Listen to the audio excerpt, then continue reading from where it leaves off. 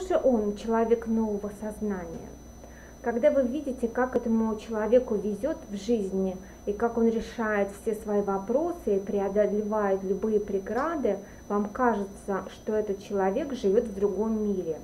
Когда вы спрашиваете, в чем его секрет, он отвечает вам, я думаю только о хорошем, только о том, что хочу иметь в своей жизни.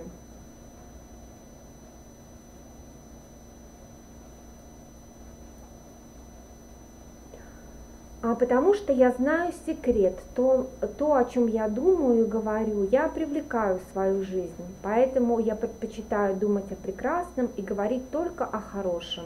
Я знаю, что все возможно, я верю в божественную силу, а эта сила знает бесконечное изобилие, красоту и любовь.